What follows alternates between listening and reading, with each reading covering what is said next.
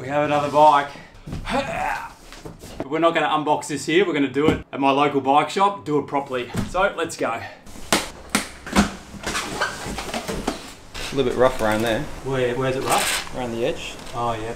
Might have a rubber finish there, maybe. Have a look. Oh, comes with some beautiful pedals for you. there you go. It does have a rubber. It does have So rubber? Okay. That's going to cover up the unevenness. Yep. So no carbon paste or assembly paste. You're going to need to use or buy some from a shop. Okay. This is a um, finish line carbon paste. It smells disgusting. So what this, this is a high grit. So we, we use different grit compounds here. So some are very fine, some are more aggressive, and it just obviously gives a better hold on the seat post. You know, you want me to tell you about the bike. It looks like there's a fair intolerance at the front there. So we'll see how that goes. Okay. So we're going to have to look at technical documentation on their website. Hopefully it's got information on all the torque settings. Colorado? Colorado? Is it just a road bike? To be honest, the packaging on this is really, really good. Where you get a Shimano driveline and then they run a KMC chain. Some people might want to swap that out for new. You know, carbon air bar. This is effectively doing the same as what a carbon paste does. It gives it a little bit of a grip. Put it into a rough position and then we'll have a look at the rest of the bike. It's cut to length, which is good. So they've got an expanding wedge in there by the looks of that. Yeah, it's got a carbon steering. So what I'm doing is just gonna, I'm just going to double check for you that there's actually grease in here. No, there's nothing. So what happened is the bike will creak like mad.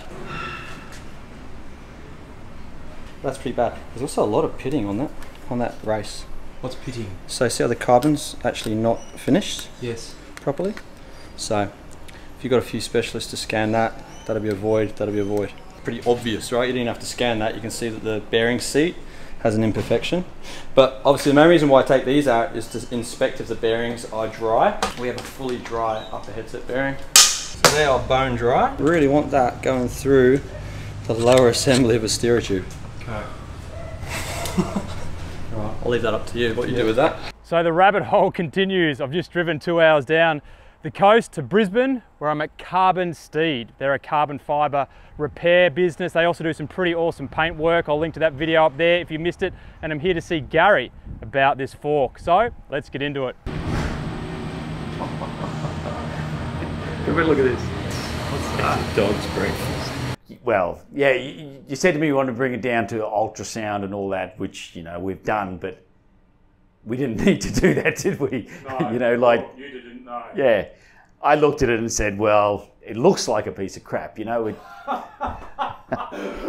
and, and, you know, and without being overly harsh, you know, we said, you know, looking at cheap Chinese stuff, that Winspace frame, I said it looked like somebody had made it who had a sense of pride in their work, and I appreciate how people put pride into what they make. Well, this is the opposite, really. Um, you know, I look at it, you know, the cable hole's not round. Um, you know, I just pointed out before, you know, yeah, it's just a poor finish, a bump in it there that is just hasn't been finished up properly. And you came and asked me about voids and everything in the top of here. Well, you know, to me, this fork is made by a steerer tube, the fork, they're bonded together, and then they wrap here in carbon. Um, and whoever's wrapped it, they it's there's been no pride in it, no care. It's just done as a cheap fork, you know. Yes. Is it going to break on your next ride? I don't think so. Yes.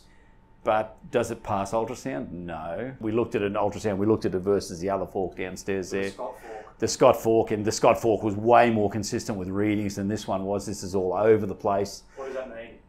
When it's inconsistent with readings? Yeah, well, I don't see any carbon that I believe never has any voids in it, but this one is just wall to wall where I, I can't get readings. You know, like you get front wall, back wall, and you know, it was a 2.5 millimeters or something. Yes. Uh, I- it was not consistently that.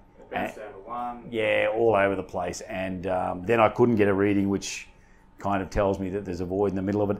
And then when it came up here, it's reading, you know, three millimeters, half a millimeter, which would suggest to me that there's a void between this carbon and the tube underneath because obviously it's way more than half a millimeter. I've got nothing more to say about it other than that. Oh, no, mate. Thanks Yeah. for having a look at it. Yeah. I really appreciate it. But, you know, there's lots of people riding around on forks just like this all the time. Yeah. Uh, yeah. Just depends on whether you want a person to take the risk or not. Yeah. Exactly right. Yeah, yeah. And the answer for me is probably no. Yes. How does that look to you? Does it come with a warranty? So I'm going to use a non-lithium based grease. Heaps of different greases for different applications, right? I do, I got one here. Oh, you got one? Okay. Yeah, I do use them, but Oh, yeah, yeah. if it's all fresh and new and clean and so forth, I don't mind. But yeah, this here, so this is aluminium. Yeah. That on top of there, that Yeah. will create issues. You'll get probably a lot of oxidization around there, and you'll get that kind of white. People see it as like a white powder, so you probably want to make sure you grease that upper assembly as well. Normally those are rubberized. Next thing we'll tend to do is we'll take this rear wheel out of here. So this again, this sounds to me is in here. It's going to be dry. Yes. I think a little bit, but it's probably just from the bearings to be honest. Yeah, it's mostly- Why doesn't that sound? you can kind of tell, just tell from the bearings. You can hear a vibration in it, but um, these are 40 newton meters. Obviously, I get used to this all the time. But if you want, oh, that's not time enough. Um, I go on a feel, but that wasn't time enough. And then your rotor bolts. So we're going to look at torque settings on those. Which I mean, these all seem like they've been done at the factory, which is cool. So it's interesting. It doesn't come with Shimano rotors actually. So extracted the bottom bracket. Yep. So it's bone dry. So we've got an aluminium cup. Yep. So you see the marring on that. It says nothing. It's bone dry. Yep. The other one's bone dry. Being bone dry, what's that going to do while you're riding? Again, creaking. Everyone Creaking. blames the poor bottom bracket. Yep. We find a lot of the time it's not the bottom bracket, it's often other things. Yep. In this case, it would 100% be the bottom Right, bracket okay. because it's just powder on it. I mean, it's literally bone dry in here. Because looking at this, this is obviously, this is running an aluminium shell. And in this case, what we'll do is we'll rebuild all this assembly and then we'll press it all together. Okay. And again, like sometimes with these, if, it's, if it is an aluminium face, we actually face the frame to give it an absolute parallel finish to the other cup side. So some of these bearings they're pressed in, they've got a bonding agent in there. Yep. In this case, they just fell out. Four is obviously we've got a nice uniform finish all the way around the cup. And now we've got a grease bottom bracket shell.